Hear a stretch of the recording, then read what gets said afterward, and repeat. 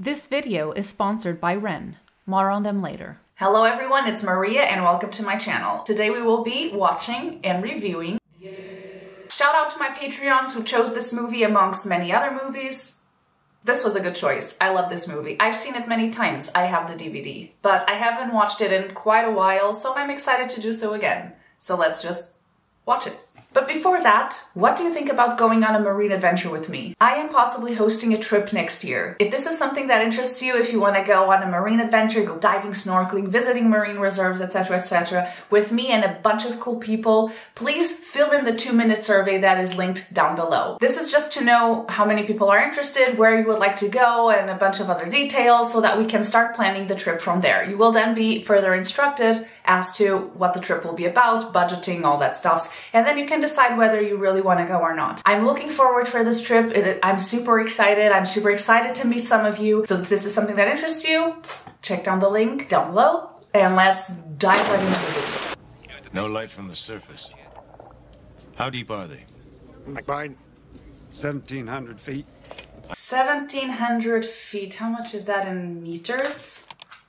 So around 500 meters. That's very deep. The deepest anyone has ever gone with just a suit without being in a vehicle is around 300 meters. So these guys were really deep and until today no one has ever dove so deep in just a suit. You want us to search for the sub? No. We know where it is.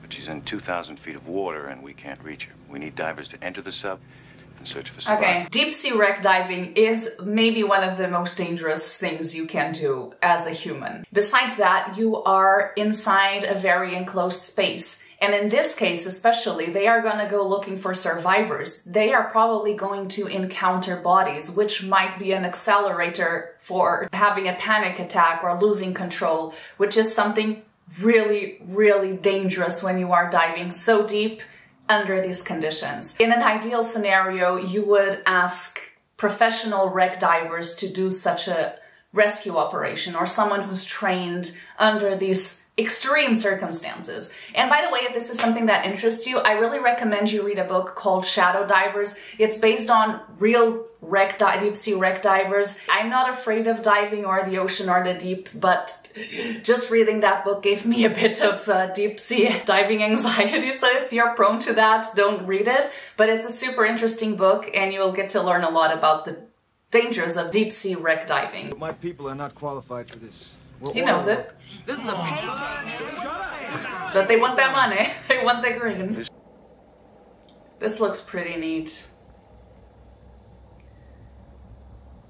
There isn't anything like this as of now. People are considering doing deep sea mining and some of the machines do kind of look like that. Yeah, this, there are submarines like this. Crude submersibles or vehicles that you can take quite deep to explore the deep ocean. The bad news is we got eight hours and this can blowing down. And the worst news is it's gonna take us three weeks to decompress later. Decompression sickness is probably the most dangerous thing that can happen to divers. When we're diving, we are breathing compressed air, and that compressed air, especially nitrogen, is building up in our body, in our tissues, in our muscles. If you ascend too fast, that air will expand very fast and it can cause many problems to your body. Basically, your blood starts bubbling. That can cause severe injuries and ultimately death. That's why you have to ascend very, very slowly or make decompression stops or safety stops, which is usually what divers do. And the deeper you go, the longer you need to reach the surface and the more safety stops you will need. And that is just to give time for that nitrogen that is in your body under pressure to leave, to give time for the nitrogen to just, so that when you reach the surface, your body is not a soda can. If everything goes right, you do not need to decompress in a decompression chamber where after you dive, even if you dive deep, if you do all the safety steps. If it happens that you so that you do need to go into a decompression chamber, it's because something didn't go very well during the dive and that you ascended too quickly for the time and the depths you are underwater. Each other closely for signs of HPNS. High pressure nervous syndrome, muscle tremors, usually in the hands first, nausea, increased excitability. Exists. And a partridge in a pear tree. This guy's so annoying. It's not really clear who will have HPNS. This is something that really exists. It's really unpredictable and no one can know who is gonna happen to have this, uh, this problem. Also, it only happens to people who are diving really deep. Normal recreational divers wouldn't come across this issue. It's more like people who are diving, I don't know, below 100 meters or so. This looks so real. Like all these machines, this looks...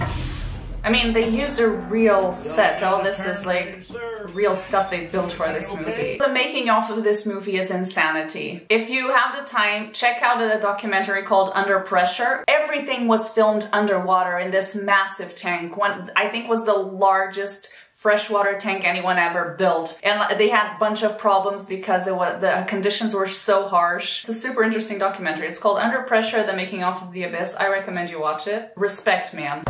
Respect. Is this respect? I don't know. Am I doing the Hunger Games? I don't know. tell us how They're using dry suits, by the way, I think. Dry suits keep you dry, ideally.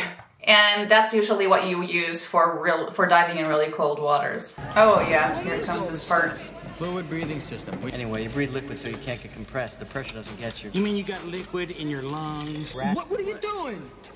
Hey, hey, hey, no, no, no. I don't know if this would be allowed to be done today. This scene is real. This liquid really does exist and this rat was really put inside that liquid. This is a liquid that has a high concentration of oxygen and allows for oxygen and carbon dioxide exchange in your lungs. And because you are breathing liquid, you can go uh, and dive under higher pressures. However, this has, to my knowledge, I will correct myself on the screen if this is not true, has never been uh, successfully tested in humans. So I, they might have already tested in humans, but I don't know if it was successful. Not that I know of. But it has been tested in rats, and apparently it, it, it, was relatively successful. By that I mean the rat didn't die and there was gas exchange happening. One of the issues that probably comes from breathing through liquid is that you need the liquid inside your lungs to be ventilated somehow or at least to move around. The other issue is the accumulation of carbon dioxide because not only not having oxygen is a problem but having too much carbon dioxide is also a problem. So you would probably not be able to be breathing this liquid for very long before the concentration of carbon dioxide is a problem. But uh, who knows, with technology nowadays, who knows if something like this will be ever possible in the future to be used in humans. But it would be cool, I guess. Uh, I don't particularly like the idea of having liquid in my lungs. Doesn't sound like it's something that is I don't know, comfortable. There's only very specific liquids that have properties that in which this would be possible, by the way. Perfluorochemicals. Perfluorochemicals are one of those. No, he, he he's ain't digging it. He take, yeah, thanks. Okay, now we let the fluid drain from his lungs. There are full face diving masks that allow you to communicate underwater like you see here. These specific masks that you see in this movie were created for the movie. They needed uh, suits and masks that were very light because the actors were hours and hours filming underwater, but they are based in masks that actually exist that allow you to communicate underwaters underwater. They are, there's some pros and cons uh, in relationship to the normal, you know, goggles plus regulator. One obvious pro, of course, is that you can communicate with other divers underwater because your mouth is not occupied by a regulator. Your whole face is covered and you can have intercommunication devices to communicate with each other. A con, for example, is that you have much more difficulties equalizing. Equalizing is when you release the pressure that is caused in your eardrums by the pressure of the descending uh, in the water. You usually need to blow this to your nose and blow so that the eardrum, the pressure is counteracted by your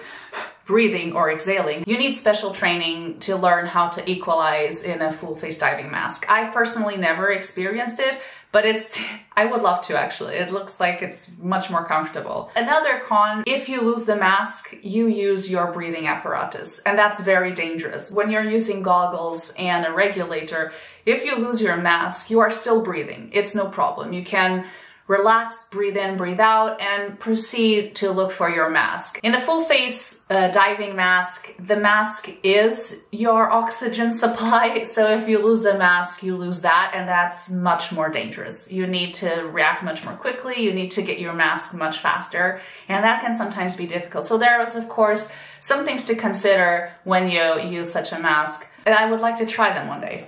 Yeah, this guy is not not having fun right now. I wouldn't either. And he's uh, he's feeling that he's just having a beginnings of a panic attack.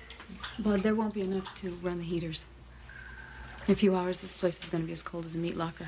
Well, the deep sea average temperature is 4 degrees Celsius. That's kind of it. Yeah, it's kind of like a meat locker. This looks so much like a ctenophore. Like these colors this like changing colors, fluorescent, bioluminescent colors. We know James Cameron is fascinated by the deep sea. I mean, the man went to the Challenger Deep, which is the deepest point in the ocean by himself. If that doesn't tell you that the man likes his deep, I don't know what will. In this movie, he really explores his fascination for the deep sea and these like jelly-like forms uh, with these changing colors and rippling motions, which are characteristics that a lot of deep sea animals have. And not only deep sea animals, like comb jellies, which this uh, alien machine reminds me of, exist in the surface. I've been swimming in the middle of a bloom of them in the Mediterranean Sea, for example. But there's also things like salps, there's also fish that have these kind of really graceful movements, not only on the deep, obviously, but the the deep has this mystery associated to it because it's much more difficult to reach and also because it's very dark and a lot of animals down there are bioluminescent and you can really easily see it when you encounter them so this kind of mysterious feel that this movie has really like I think captures that very well. No, that guy don't look good. Coffee, my man. Or is it just me? You don't look good. HPNS or the high pressure nervous syndrome can indeed like decrease mental performance, cause tremors, but I'm not sure it would increase paranoia. I don't think that is a, symptom of HPNS. Uh, this guy is clearly not only, you know, decreasing his ability to think critically, he's also becoming paranoid. Could be that he was just paranoid already before having HPNS and it's just increasing it, but that's not a symptom of HPNS. Water periscope in the house. Oh, I forgot we could we actually see all of it. Oh, that's so cool. Looks like a pyrosome. Pyrosomes are like these free floating colonies of little animals or called tunicates. And they look they can look kind of like that like this this this, this cone shaped colonies. They form circular or cone shaped colonies and they can be huge. There's photos of uh, divers next to pyrosome colonies and they are enormous like meters in length. They can measure up to 18 meters in length 18 meters. They, that's crazy. They are totally harmless. Uh, they just, they're just, you know, chilling there, floating around in the water, but they do exist. Oh, so far yet so close. Or so close yet so far, should I say. The emotional climax of the movie, or one of the emotional climaxes. What's the plan? I drink this water No! a couple of degrees above freezing. I go into deep hypothermia. My blood will go like ice water. So her idea is that she will drown and her, she will go into hypothermia so the body functions because of the cold will be slower and she will be able to still be revived. The issue with this, the guy just said he needs eight minutes to swim from here back to the main, to the rig. Probably will take longer if he's carrying her. Three to five minutes without oxygen can be enough for severe brain damage. So in this situation, even if she could be revived after all this time of being like dead, she would probably not do so without having some type of brain damage. For me, it would suck if she, if, if they would be so accurate with science that she would die in this moment. Obviously, I like that, the fact that she doesn't and that she's fine.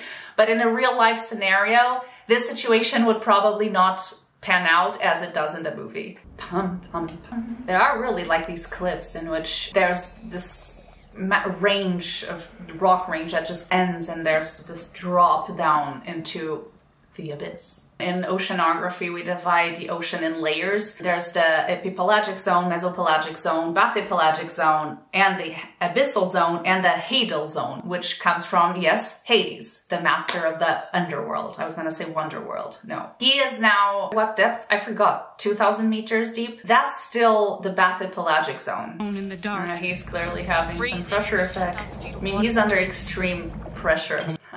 Literally and emotionally. 12,000 feet. Jesus, I don't believe he's. Yeah, okay, so now he's reaching the abyssal zone. He's almost at 4,000 meters. It took him 30 minutes just to get down there. There's no way he can swim all that way up. Okay, this is where the movie kind of loses people. I mean, that's beautiful. Okay. Yay! Happy ending. We all love a happy ending. So that was it. The Abyss by James Cameron. I like this movie. Aliens and all and cheesiness and all. While we do not have these kind of machines uh, to use uh, to extract oil, there is an increased lobbying to start deep sea mining because there's a lot of uh, minerals in the deep sea that we use for a lot of our technology, like cell phones, chips, and stuff like that. And a lot of the machines look very similar to what we see in this movie from an ecological point of view and from a general world point of view, it can be very dangerous.